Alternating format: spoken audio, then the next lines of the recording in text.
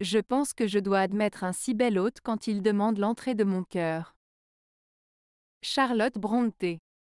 Cette citation de Charlotte Brontë, qui figure dans son roman, Jane Eyre, exprime l'idée que la personne doit accueillir chaleureusement l'amour lorsqu'il se présente à elle.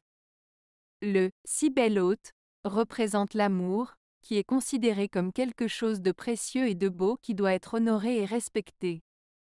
L'utilisation de l'image de l'entrée du cœur évoque une idée de refuge ou de lieu privilégié où l'amour trouverait sa place. En somme, cette citation renvoie à l'idée que l'amour est généralement souhaité, mais qu'il doit être accueilli avec précaution et attention.